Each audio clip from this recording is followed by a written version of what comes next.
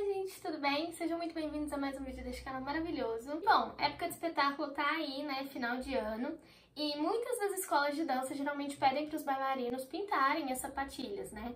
Tanto por questões de, às vezes, a sapatilha tá apresentando alguma sujeira, alguma marca que vai destoar no palco, nas fotos e na...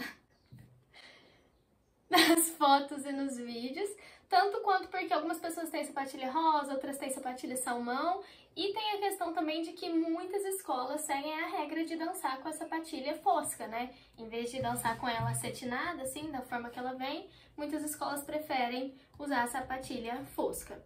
Esse é, por exemplo, o caso da escola onde eu faço aulas e a qual eu vou apresentar agora no final do ano.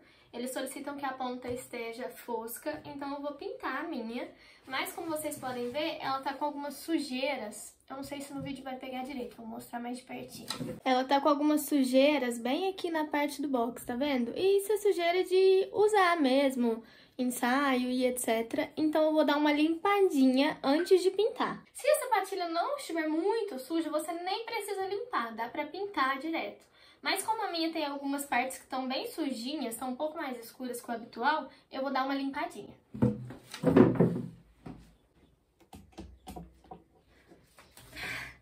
Você tá brincando comigo? Acabou de acabar a energia aqui em casa.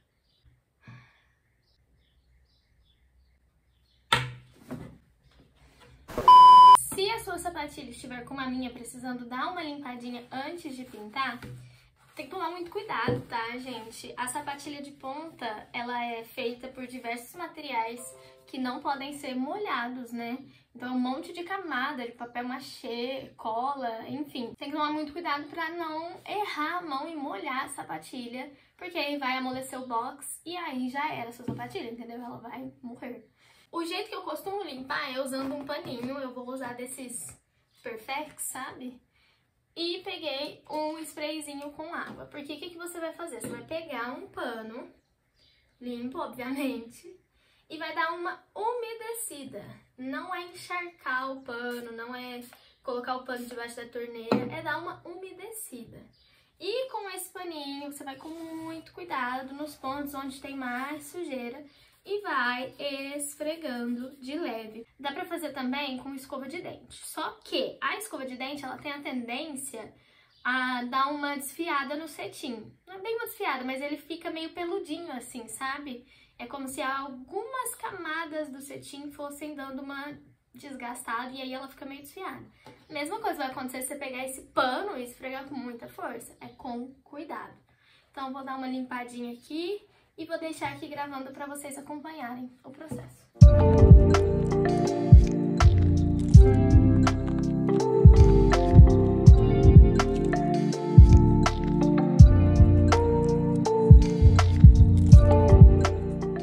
Essa aqui eu já terminei de limpar. É claro que algumas manchas vão ficar, não tem como. Mas olha a diferença que já deu de uma para outra. Vou repetir o processo na outra. Pronto, já dei uma limpadinha nas duas. Não ficou perfeito, igual aqui atrás, que é bem perto da sola. Não tem como, né, gente? Fica sujinho mesmo. Mas agora a gente vai pintar e aí vai ficar bom. Vai dar uma disfarçada boa. Como eu passei o pano só úmido, a sapatilha não tá molhada. Porque eu passei o pano úmido e eu passei a água no pano. E não espirrei água diretamente na sapatilha, não façam isso. Então, dá pra eu já pintar agora. Vou começar com o pé direito, que foi o primeiro que eu limpei. Eu acho bem chatinho essa parte de pintar e eu honestamente gosto da sapatilha cetinada, mais do que da fosca. Mas regras são regras, né? Já que a escola vai dançar com a sapatilha de todo mundo fosca, eu não vou ficar de fora, né? Vou pintar a minha também pra seguir as regras. Muita gente, pelo que eu sei, prefere usar pincel. Eu prefiro usar esponjinha porque eu acho que fica mais uniforme. As tintas que eu uso são tintas para tecido, da Acrylex. Eu sempre misturo a salmão com a branca. Essa aqui que eu uso é a salmão bebê da Acrylex, número 812. Eu recomendo pegar a salmão bebê, não a salmão normal, porque a salmão normal fica meio laranja. E aí eu sempre misturo com a tinta branca. Essa aqui é a branca da Acrylex, número 519. Toma cuidado, gente, porque depois que a tinta seca, ela dá uma oxidada, então ela puxa um pouco pro laranja. Então eu recomendo que você Coloco bastante branco, deixa bem clarinho, pra depois sua ponta não ficar literalmente laranja. Vou jogar um tanto aqui. Vou usar um palitinho assim desses de churrasco pra misturar bem. Eu vou pôr mais branco, porque eu não coloquei quase nada. Agora que ficou bem mais clarinha, eu vou começar a pintar a sapatilha. Vou pegar isso aqui que eu usei pra misturar e já botar aqui pra não desperdiçar tinta. Eu gosto de usar esse lado gordinho da esponjinha aqui, sabe? E aí essa parte bicudinha eu uso mais pros cantinhos, essas partes menorzinhas. Mas eu sempre começo com essa parte. E vou dando batidinhas assim, como se eu estivesse passando base no rosto mesmo, sabe? Pra deixar bem uniforme. E o bom da esponjinha é que a camada fica fininha, sabe? Porque ela esparrama bem, como se fosse base mesmo. Vocês viram um tantinho de tinta que tinha no pincel, né? Olha o tanto que já cobriu. Cobriu esse pedaço todo. Agora eu vou repetir esse processo na sapatilha inteira.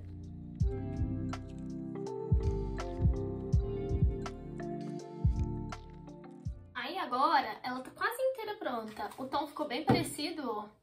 Ela tá um pouquinho mais clara, mas ela vai escurecer. Agora vem a parte mais chata de todas, que é pintar essa bendita dessa fita é um saco, porque ela já tá costurada e ela é gigantesca, né? E aí, tipo, ah, vou ter que tomar maior cuidado pra não pegar tinta, pra não ficar parte sem pintar, então vou esticar ela assim. Na real, acho que eu vou pintar só do lado de fora, porque aí eu consigo deixar ela esticada assim pra secar.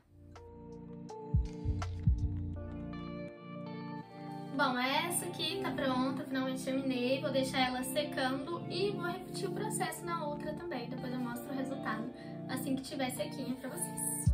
Pessoal, essa sapatilha já secou, faz umas 3 horinhas só que eu pintei, ela já tá bem sequinha, dá pra colocar a mão, apertar, que não mancha nem nada. Conforme eu falei pra vocês, tem algumas sujeiras que estavam mais profundas ou muito escuras que realmente não vai tampar 100%, mas do palco, até mesmo um pouquinho mais longe, não dá pra perceber tanto. Quando a gente acaba de pintar, ela fica um pouquinho mais durinha, sabe? O tecido em si, ele fica um pouquinho mais duro, mas na primeira vez que você calça, ela já dá uma moldada no pé. Vocês podem ver que deu uma oxidada, né, desde a hora que eu acabei de pintar até agora, ela deu uma escurecida. Ao vivo, tá dando pra ver melhor do que na câmera, é claro, mas ela ficou bem salmãozinha mesmo, mas sem tá alaranjada. Isso, é claro, também vai variar de acordo com a cor natural da sua sapatilha. Essa que eu peguei era salmão. Se você tiver com a rosa, talvez vai dar um pouquinho mais de trabalho para ficar menos laranja. Então tem que ficar bem atento. Se necessário, passar duas camadinhas. Mas como essa aqui ficou bem uniforme, eu não vou passar outra camadinha, não. Só algumas sujeirinhas bem específicas que ficaram mais aparentes. O resto cobriu bastante.